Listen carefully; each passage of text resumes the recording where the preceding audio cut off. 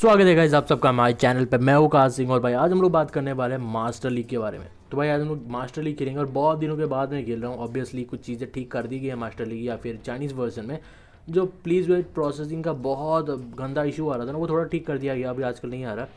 तो इस चीज़ से थोड़ा खेलने में मज़ा आ रहा है, पर फिर भी थोड़ा सा मेरे को देखने को मिलता है कभी कभार प्लीज़ वेट का इशू डिपेंड करता है कि आपका नेटवर्क कैसा है। ठीक है तो सही है। पर भाई, वीडियो शुरू करने से पहले बता दो कि आज इवेंट है तो अपने एनर्जी ना सेव करना शुरू कर दो। तकरीबन लोगों के 500 से ज़्यादा हो ही गए होंगे तो मैं कहूँगा आप ज़्यादा सेव करना, क्योंकि ये बड़ा इवेंट हो सकता है और अच्छे पोकेमोन्स आपको देखने मिल सकते हैं, ठीक है? इवेंट आइटम तो शायद काइट होना चाहिए, क्योंकि अप्रैल आ गया तो हो सकता है अप्रैल फूल वाला आएगा, या फिर हमें अप्रैल फूल बना दिया जाए ट्रेजर डिटेक्टर दिया जाए, जो और भी ज़्यादा बेहतर होगा।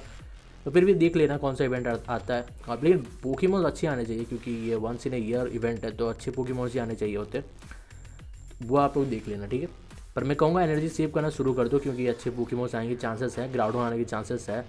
सूत्रों के हवाले से पता चला है, शायद मे भी ग्राउडोन आ सकता है, क्योंकि इससे पहले कायोग्रे आया था, ठीक है? तो उसका अपोजिट भी आना बनता है। तो हमारे पास है सीज और वाई और भाई बेसिकली बता दो, अगर आप में से कोई डार्क सूट यूज़र है या फिर बग सूट यूज़र है ना सीज और वाई मतलब सारे सीजॉर्स में से मेरे को सबसे ज़्यादा डोमिनेटिंग यही लगता है। इसका आर टू मूव एक तगड़ा मूव है, ऊपर से इसके बाद एजिलिटी है, इसका स्वॉट डांस इसका are two move critical hit देता है, ये रूट इस्तेमाल कर सकता है।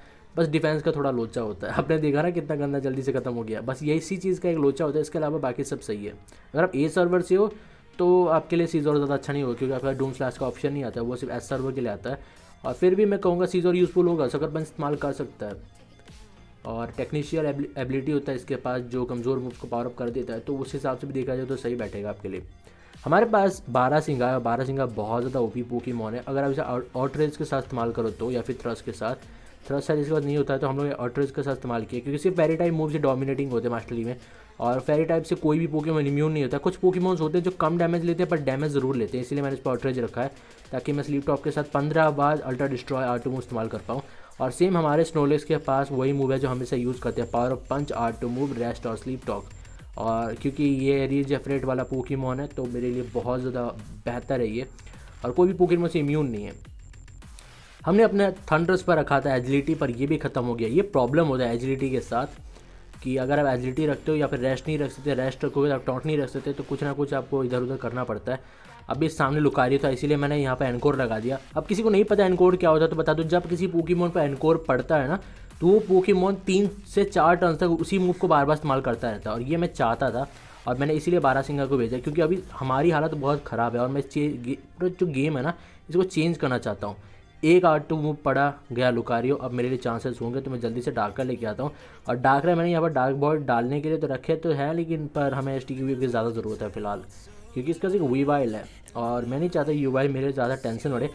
अगर किसी को नहीं पता, मैं बता दूँ वी वाइल के पास प्रेशर एबिलिटी होता है, ठीक है? होता है इसके पास भी प्रेशर एबिलिटी होगी पोकीमोन बहुत डेडली हो सकता है। वी बाइल को नज़रअंदाज मत करना एक गॉड लेवल स्पीड होल्ड करता है पोकीमोन अटैक भी तगड़ा होता है जी मूव भी तगड़ा होता है, लुकारियो जैसा जी मूव होता है, उसका भी वाई वाले जैसा। और और भी उससे ज़्यादा अच्छी बात, उसके प्रेशर भी होता है। मैंने नोटिस किया हुआ है भाई वी वाइल वाई के पास प्रेशर होता है। मैंने मास्टर लीग में देखा था।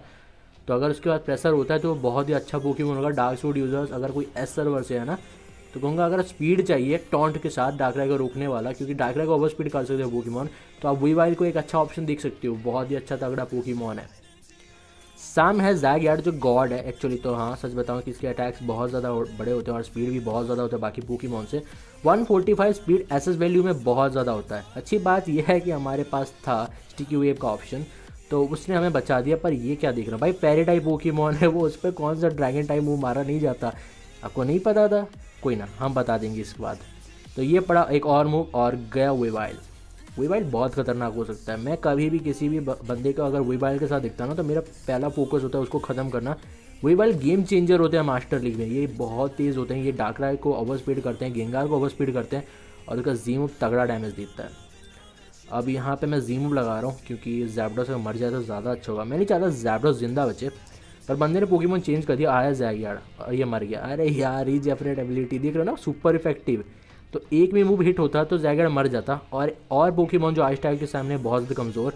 और भाई, कहाँ मैं सिक्स बसेस फोर पे था, अब तो भाई फोर बसेस वन हो गया। गेम ही पलट दिया बेचारे के लिए हमने, पर कोई ना, बंदा चला गया।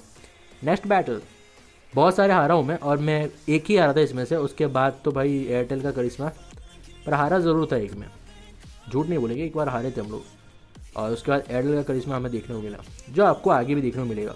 लेबिटेड वाला गेंगर इस बार हमने लिया है और लेबिटेड वाला गेंगर बहुत ज़्यादा ओपी होता है और इस ओपोनेंट की गलती ये थी कि इसने देखा लेविटेड है तो इसे चेंज कर देना चाहिए पर ये शायद चेंज करने के मूड में नहीं था। तो मैंने स्टीलिंग्स लेके आया हूँ और अगर कोई सोचे कि स्टीलिंग्स कैसा पोकीमोन होगा आपके सूट के लिए तो हार्ड सूट के लिए डोमिनेटिंग पोकीमोन होता है। अगर आपको फिशर इस्तेमाल नहीं करना ना मत करो। स्लेथरॉक्स ड्रैगन टेल स्लीप के साथ भी और ज़्यादा तंग कर सकते हो ओपोनेंट्स को।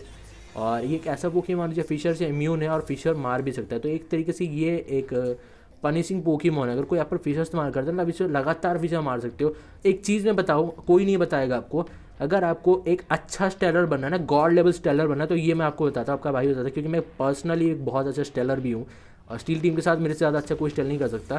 स्टीलिंग्स में ना डिग रख दो, ठीक है? फिशर रख दो और रेस लिप टॉक पंद्रह बार फिशर मारेगा आपका स्टीलिंग्स कोई नहीं रुक पाएगा आपकी स्टीलिंग्स और टपा टप मारता जाएगा। और पंद्रह फिशर में से चार फिशर तो हिट होंगे, लिख के दे सकता हूँ मैं। और बंदे के पूखी मोनी छः होते हैं तो चार आपका स्टीलिंग्स ही खा जाएगा, ठीक है?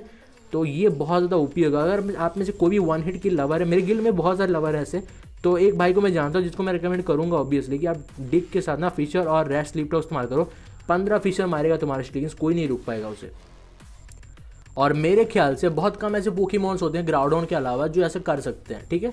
और चालीजार्ड के अलावा भी। तो मैं आपको कहूँगा, आप स्टीलिंग के साथ रहो। गॉड लेवल पोकी मोन है, इसको कोई भी फिशर नहीं मार के मार नहीं सकता, कोई भी वन हिट किल आउट नहीं कर सकता, कोई डायरेक्टली भी किल नहीं कर सकता फिजिकली स्पेशल अटैक वाइज कर सकता है, पर हाँ फिजिकली कोई इसको हाथ नहीं लगा सकता अच्छे से।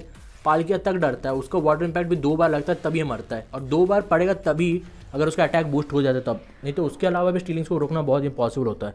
अगर आप फिशर मारने पे आओ तो आप अगर पाप करने पे आओ तो महापापी बन जाओ और ये ट्राई करना। कोई नहीं ठीक है आपके सामने, सच बता रहा हूँ। हम भी ये करना चाहते हैं, पर मैं नहीं, ऐसे ड्रैगन टेल मेरे को इसलिए अच्छा रहता है क्योंकि कभी कभार गेंगा डेस्टिनी बॉन्ड पे लगा लेता है और कभी कभार मेरे को ज़रूरत पड़ती है कि जो पोकेमोन बूस्ट हो गया होता है ना तो ड्रैगन टेल लगा के उसे बाजू हटा सकते हो। कभी कभार उसे मारने से ज़्यादा उसे बाजू हटाना ज़रूरी होता है तो इसलिए मैंने अपने स्टीलिंग्स को ड्रैगन टेल रखा है। पर आप डिपेंड करते हैं, अगर आप फिशर मारना चाहते हो तो सही से मारो। हमारे, हमने भेजा अपने लैंडर्स को तो इस बार मैं बता दूँ, हमारे लैंडर्स के पास अडेप्टिबिलिटी था पर हमें इसको इस्तेमाल करने का सही से मौका मिला भी नहीं था। पर कोई ना, मैं जीमूव लगा रहा हूँ और ये मर गया। इस बार बहुत ही अच्छे पोकी बॉल्स मिले थे। मेरे को गिंगार मिला था मन चाह मेरे को लैंडर्स मिला था मन चाह अडेप्टेबिलिटी वाला लैंडर्स बहुत ज़्यादा खतरनाक होता है। मतलब सोच लो फ्लाइंग और ग्राउंड टाइप के मूव्स बहुत ज़्यादा डैमेज देते हैं। अगर आपके पास बोन है मतलब जो ग्राउंड टाइप मूव्स जो बूस्ट करता है पावर वो है तो भाई आपका पोकीमोन एक एक हिट में खेल खत्म करेगा। एडल का करिश्मा आपने देख लिया। अब हम आपको दूसरा बैटल दिखाते हैं। बस ये हो रहा था बार बार तो उस बार भी वैसे हार गया और ख़त्म हो गया। इस बार मैं पता नहीं कैसे मतलब पाँच बिना हारे छः बिना हारे सात बिना हारे पहुँचा था। उसके बाद एक पर एक उसका एक ही हारा। ठीक है मैं एक हारा ऑब्वियसली झूठ नहीं बोलना है। एक हारा मैं एक बंदे से। आ, शायद वो दुबई का सीख था वैसे कुछ था उसने हराया। स्पाइक्स और स्लेथरॉक्स बहुत मारे और ईजिली हरा दिया हमको। पर उसके बाद एडल का करिश्मा हमें खा गया। पर कोई ना सा होता है। सामने है सुईखून यूज़र टॉक्सिक डाल रहा है तो ये बहुत ज़्यादा गंदा हो गया मेरे लिए, क्योंकि रिक्वाजर पर टॉक्सिक गिर गया तो ये काइंड ऑफ़ यूजलेस भी हो गया। पर मैं जल्दी जल्दी खेल खत्म कर दूँगा, मेरे को तो बस ड्रैगन डांस चाहिए था। ये मोबाइल ये बंदा शाना है, ये बहुत शाना है तो बस मैं वीक रेट में आता हूँ और ये खत्म है। वीक रेट बहुत स्ट्रॉन्ग मूव होता है, पर इसके कॉन्सिक्वेंसेस होते हैं आपको। पोकीमोन का जो डिफेंस और स्पेशल डिफेंस होता है, हद से ज़्यादा गिर जाता है। माइनस वन हद से ज़्यादा ही होता है भाई, इसको कम समझना। ठीक है?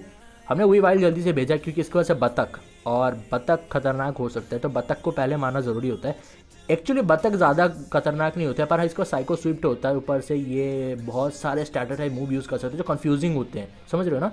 अगर स्ट्रैटेजी वाइज खेलने जाओ तो बतख खतरनाक होता है मास्टर लीग में खतरनाक होता है। बाकी वर्ल्ड लीग में ऐसे कुछ खास नहीं होता इसको पकड़ कर आराम से पेल दिया जा सकता है, गेंगार के बदौलत। पर बतख के पास लेबिटेड भी होता है तो हाँ एबिलिटीज़ भी अच्छे होते हैं बतख के पास। सामने हमने पकड़ा था सुईकुन को, मैंने टॉन्ट लगाया मेरे को लगा एचपी कम हो सकती है तो सोचिएगा कि जल्दी से रेस्ट और स्लीप टॉक लगा मारो। पर बंदा साम, आमने सामने की लड़ाई लड़ रहा था, बस स्विचिंग पर डिपेंड था। और मेरे को ऑनेस्टली इस बंदे का स्विचिंग बहुत ज़्यादा अच्छा लगा। और ये बतख को बार बार सामने लेके आ रहा था, क्योंकि इसका स्पेशल डिफेंस ना, और डिफेंस दोनों ही अच्छा होता है। तो इसके साथ आप मज़ाक नहीं कर सकते ये पोकीमोन टिकने लायक होता है। तो भाई जो नेक्स्ट पोकीमोन आया, वो था बंदे के पास एक स्नोरलैक्स है। तो ये मेरे लिए ज़्यादा प्रॉब्लम नहीं होना चाहिए। पता नहीं क्यों, बतख को क्यों हटाया? क्योंकि वो ज़्यादा ईजिली टिक पाता शायद। और उसका तो मार भी पाता धीरे धीरे करके कि डैस्ट अगर होता या फिर उसके पास साइको स्विफ्ट होता, पर स्नोलेस तो मतलब इस, इसको तो ठिकाने लगाना बहुत ईजी था। ये पोकीमोन जिसको मारना ज़रूरी है।